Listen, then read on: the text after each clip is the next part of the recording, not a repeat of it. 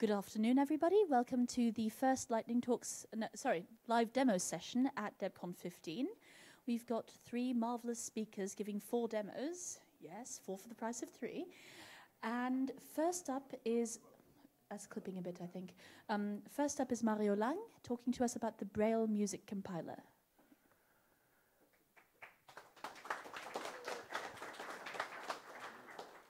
Um, hi everyone. Uh, this is probably a bit of an unusual demo because it is not really Debian related. It's just showing what I have been doing in the last several years if I were not working on Debian. Um,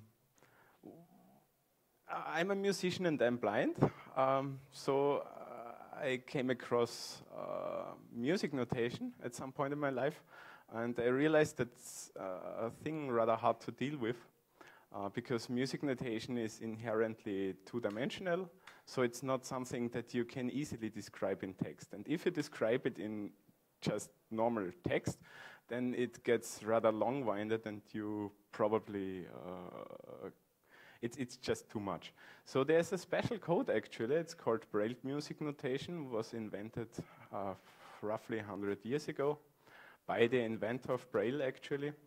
Uh, which is a rather compact, uh, rather compact representation of music notation in um, just Braille dots. It uses the six-dot Braille system. Um, yeah, so the point is there's actually no mm, free software for this. There are one or two very, very incomplete implementations around. Uh, so uh, I decided to do something about this and write software about it. Um, first implementation was something to convert music XML to Braille music. Uh, was interesting, but it was kind of a prototype. Um, so I found my dead ends and realized I have to start again. Um, so the current uh, project I'm working on is called BMC, the Braille Music Compiler, because I decided to do the more complicated direction first, which, which is to parse Braille music and uh, produce some data structure from it. Um, yeah, that's basically the idea. And the other idea is to um, make this software help you in many, many ways. Uh, one thing is when I learned to read Braille music, I was not able to like know if I really uh, were interpreting it correctly. So I always wanted some software that could play the sounds to me. That's one big goal. Uh, and the other big goal is to make it easier for sighted and blind people to cooperate on music. Uh, so um, what BMC is currently doing um, is it reads uh, Braille music notation, uh, parses it, and um, then it can actually generate LilyPond or music XML from that, so that you can enter music notation in, in uh, from the perspective of a blind person in, in your native format and uh, have it uh, presented to some sighted person who has no idea about Braille music notation. Uh, current idea is basically it parses this uh, rather complicated code. Um, it generates LilyPond of it, and LilyPond does the rest of the work. So you, we, we, generate SVG output and MIDI and whatnot. And now that I'm actually at a point where the backend is, is useful and doing some things, we actually started to create a GUI. Um, this user interface is about four months old, so it's really just experimenting around. Uh, it's the first first time we, we started, uh, first time I and, and actually we worked with Qt. Qt. So uh, it's a rather new thing, but I think we have made some nice progress, and I just wanted to show this uh, off, actually. Um, was hast du jetzt laufen? Das ist normal, Standard. Also nur oben brennen, unten nichts. Genau, ich würde es einfach mal übersetzen. Um, so what this software can do is um, actually translate this automatically to a visual representation, um, thanks to LilyPond, actually. Um, and ja, ich würde einfach mal so haben oder so. And um, the backend system actually knows about uh, musical objects from both uh, representations. So you can like hover over a, a visual note and have it highlighted in the actual uh, Braille music code. You, you can also click on a visual node so that the editing cursor in the Braille music editor window is, is positioned. This is just to facilitate working together between blind and sighted people. Because if you're like, I'm in this node, I'm in this C down there, you can just point the mouse at it and click it, and uh, the, actually the same node will be under the cursor for the blind person. Um, you can also create your own Braille music. So this is just like one of the example files I ship with the project. It's something from Bach. But you can also, and that's the idea, if you can write Braille music yourself, you can very easily input. Uh, uh, yeah. Um, okay, I will show this. Um, this like uh, the Braille dots that Mario sees on the Braille display, and this is the um, the lower part is what uh, the representation is of the uh, of the music. If I hover over this note, I see like uh, this is a G and I see uh, the highlighted area is actually three um, characters. And so you see like uh, for this uh, eighth G, you need three characters to, to, be, to represent. Uh, it gets even funnier, for example, for this, you have like a G with a slur to the next, or tie, whatever it is called. There are also th three uh, characters, but completely different. And just to show you and give you a feel how like complicated this is for even the sighted people, there's like a mode where you can uh, use uh, uh, uh, uh show this without using Braille notation, and it it looks then like this. The idea, so if I like, and, and yeah, and now I can also compile it, like, if, yeah.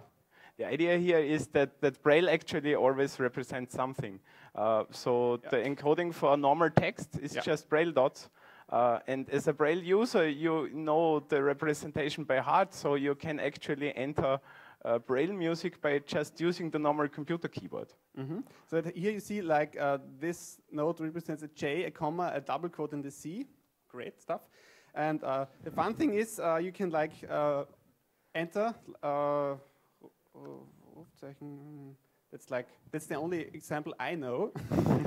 uh, and if I like render this, I get this.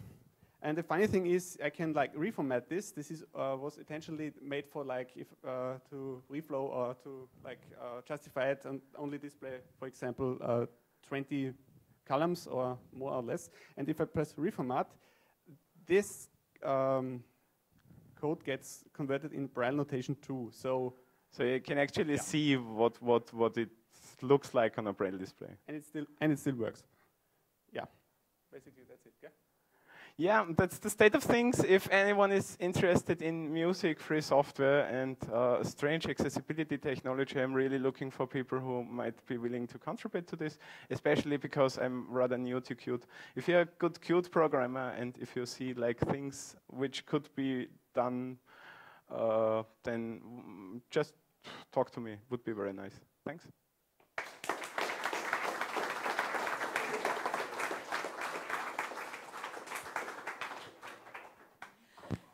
Thank you very much. Um, next up are DKG, um, Daniel Kahn Gillmor, and Anibal.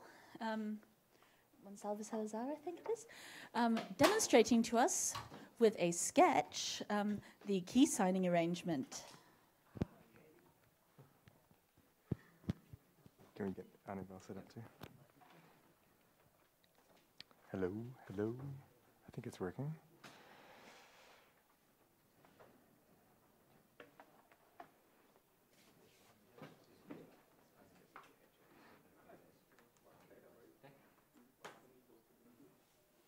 Try speaking.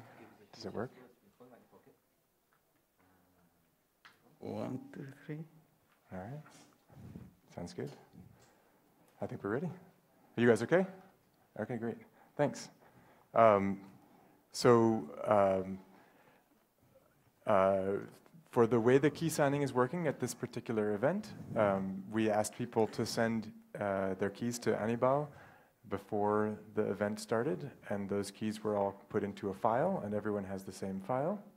Um, you can fetch the file from this URL here, and below it here is the SHA-256 checksum of the file. Um, so this file is a text file, and it contains people's um, keys and fingerprints and user IDs. And uh, what we're going to do is we're going to show you how you can use this throughout the rest of the conference. We've got, uh, what, six days more of the conference? You've got, that's, uh, if you meet 10 people a day, that'll be 120 people that you'll meet. Uh, 20 people a day, that's 120 people. my, math is, my math is slurring already in two days in. Um, so we're just going to show you um, how you can use this. Um, if you want to fetch the file right now and take a look at it, or if you've already fetched it, you know what it looks like. Basically, it's just got sort of the, uh, the, the listing of a key with a fingerprint with a number next to it with some names on it. So we're going to do a little demonstration of what it's like to use, to use this mechanism to do your key signing throughout the week instead of at a single particular event. So, Okay. Uh, ah, hey, Anibal, Ah. how's it going? Daniel, I know you maintain the Hello package, and I have a few a few patches that I'm Oh, using Oh, that would be great. Hello is years. super buggy, and I need all the help I can get. um, so uh, I would love to work with you more on it, but I'd like to have a way that we can communicate uh, securely when we're uh, when we've left the conference. Yes, we could cross-sign our keys. Uh, I just I downloaded the, the the text file here, and I checked the checks. I calculated the checksum. Everything is correct according to this, and I also checked my fingerprint. And what about you? Yeah, so I fetched the file and I checked the SHA-256 checksum, the fingerprint of the file, the, the checksum of the file. It, it checked out. I looked in the file and I saw that it had my name and my fingerprint was correct.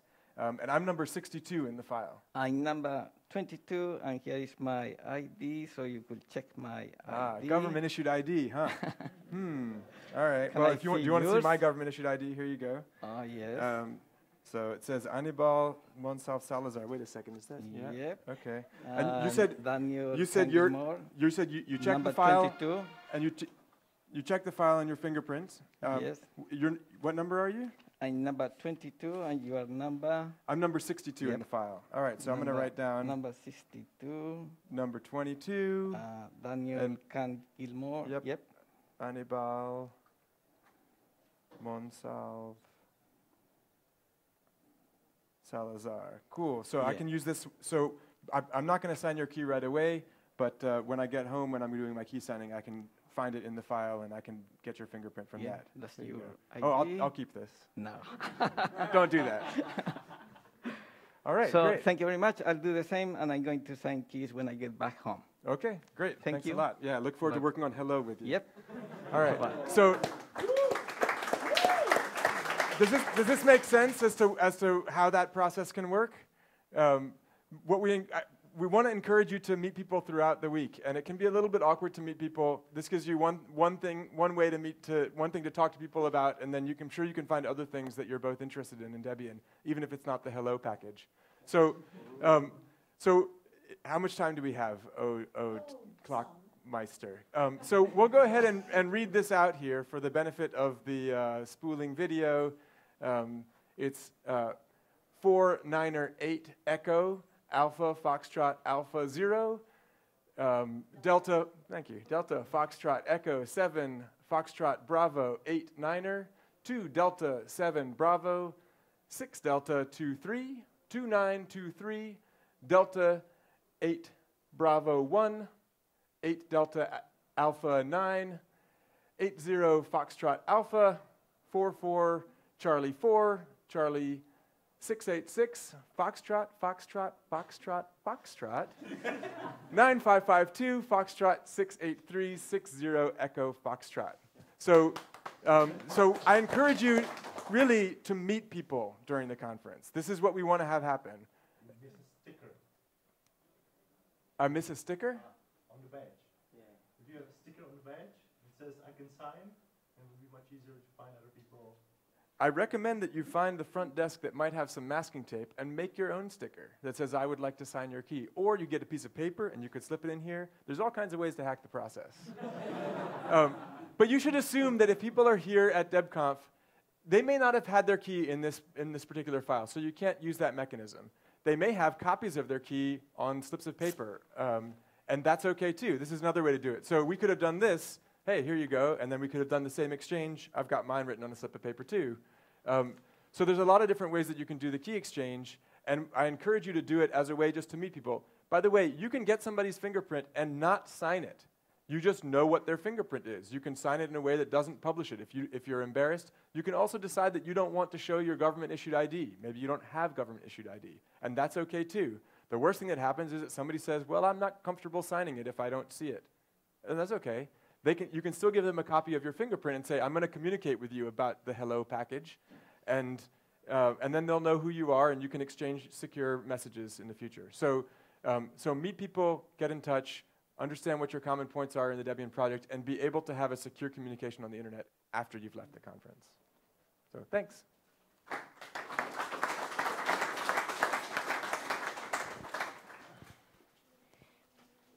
Thank you very much. Sorry for the phone noise. Um, the last speaker doing two separate demos is Andre Surý, um, and he will tell us what we're doing. Hello, I'm uh, visible.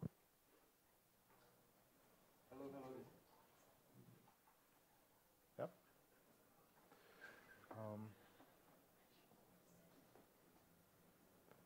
This is on borrowed machine. So, hello, I'm I'm Andre, and I'm uh, kind of DNS geek if you know me. So, uh, um, uh, well, I want to ask you well a few questions first. Do you have your own domain name? If yes, raise hand. And do you sign it with DNSSEC? No, why not? Well, usually because DNSSEC is too complicated. So um, I'm going to show you that's not true anymore. So let's see if it still connected to the internet. Um, by the way, you can query the machine. It's it's okay. Or it's better. I can. Okay, so um, um, uh, we at the CZNIC, uh, the company I work for, we are also .cz registry, um, created quite a lot of open source software. Well, you might know BIRD, Internet Routing Daemon, but also Knot DNS, which is uh, the, the joke was very funny at the beginning, but uh, after years of saying it's not DNS, it's not so funny anymore. But but we can't change the name now. Um, so if you install Knot DNS, which is package as, as uh, the package Node, then uh, uh, it's installed and um, it's version 2, which should be hitting unstable soon enough. Uh, then there's something like etc not, then uh, we are going to create a directory for keys. And I can type. Um, we have a tool called Key Manager, and we just initialize the the directory. It, well, there's some. Oh, sorry. but but but uh, that's that's okay, uh, because here it stores. Uh, there's nothing here yet, but it stores uh, the the keys. But uh, if I create a new policy, um, uh, it confused me as well. I will add new policy. I can use just the defaults, and it will use uh, RSA SHA-256, I think, by default, with some default key sizes. I could also add a new policy. Uh, we can call it just ECDSA. Um, and the algorithm is 13. Or it can uh, uh, also accept the mnemonics from IANA, but it's much complicated in 13. Yes. Um, and I think you need to type a size because it's not it's not perfect yet. uh, because this is the first version. Uh, also, we can enable NSEC3, and this is the, the, second policy we have for, for zones. So um, now we have some policies. Uh, you can easily use the default one, just add, add something. Then we have a configuration file, and we will add some zone or zones, but I think that one zone is enough for now. Then um, I will show you, that this is also one of the new things we have uh, in the version 2. Um, we have something we call templates. So I will just uh, add some stuff here. I think it's like this, but I, I don't remember this by. So yes, it's percent %s. And um, this is the default storage for all the domains I'm, uh, and because it's default, it will be just used for, for all the zones. It doesn't have uh, its own policy. So um, I have this demo zone, um, and there's another uh, few things we need to add. This is the directory uh, with we initialized, and then the last thing um, we enable the signing. And that should be enough. But it's live demo, so things are expected to break. Um,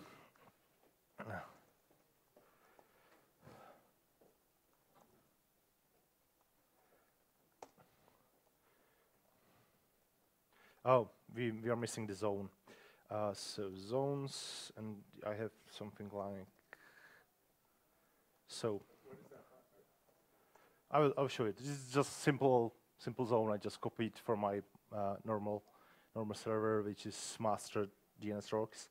As I said, I'm DNS geek, uh, so I had to buy a new GTLD, uh, even though it's useless. so this is not yet signed, and uh, one last thing because this is the usual problem. Um,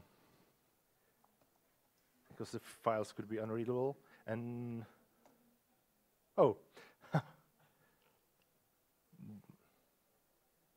then there's something wrong.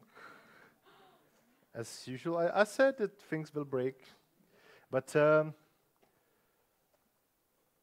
there might be something like.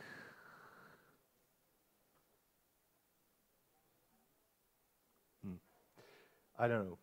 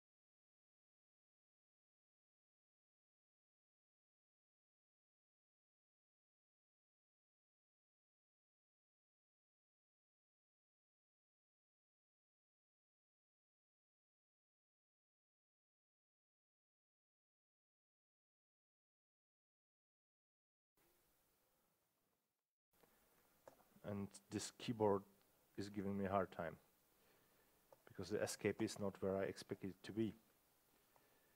Um,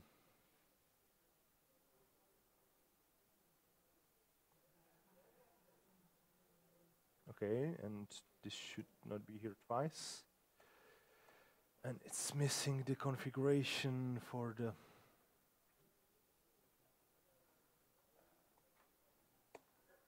Okay, so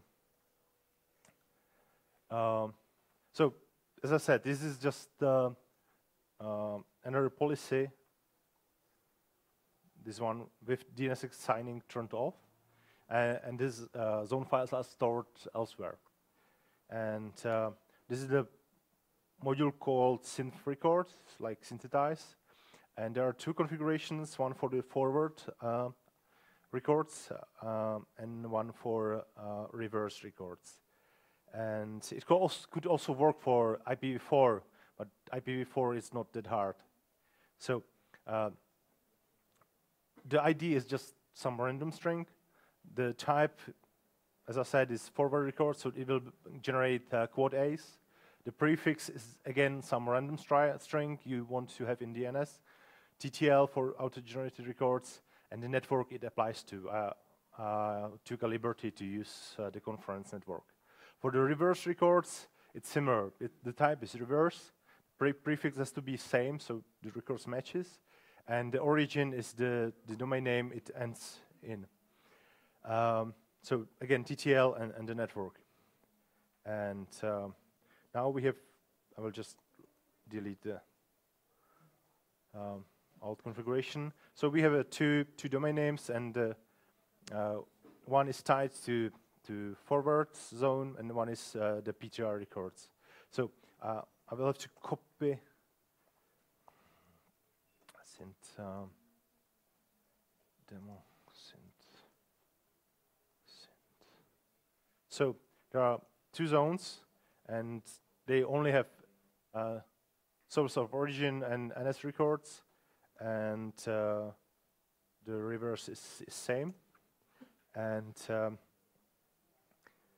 again, we issue C reload and hope it works. Yay! First time. So, um,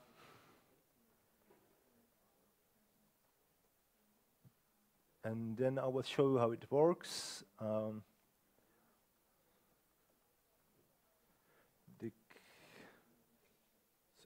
for example, let's see 15. Ah. As I said, the keyboard is giving me, oh.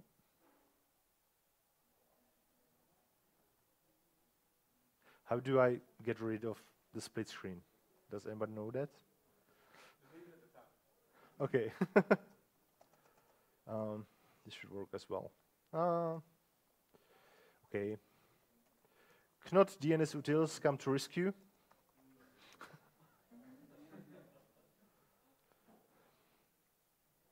uh,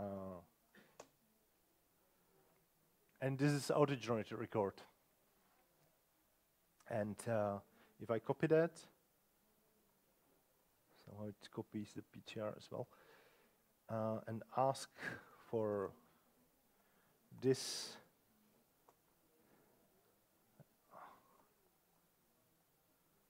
it will return. Then there's some. Okay, there there there has to be some, something broken. Um,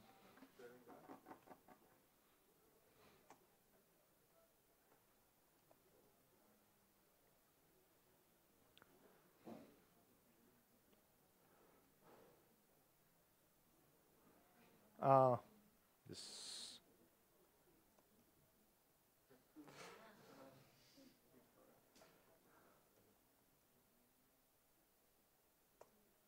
Much better.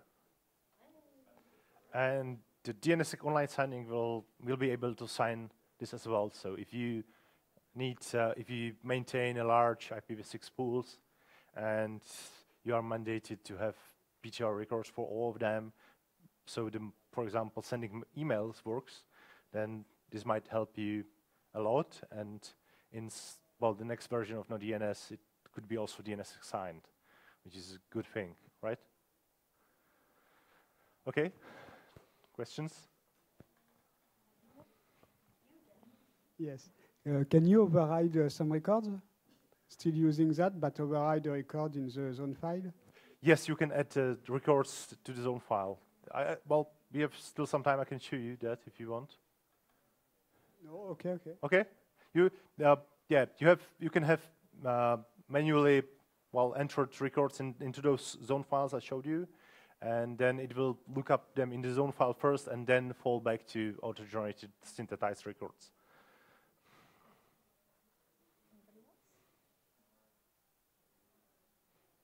Okay. So thank you for listening to my DNS.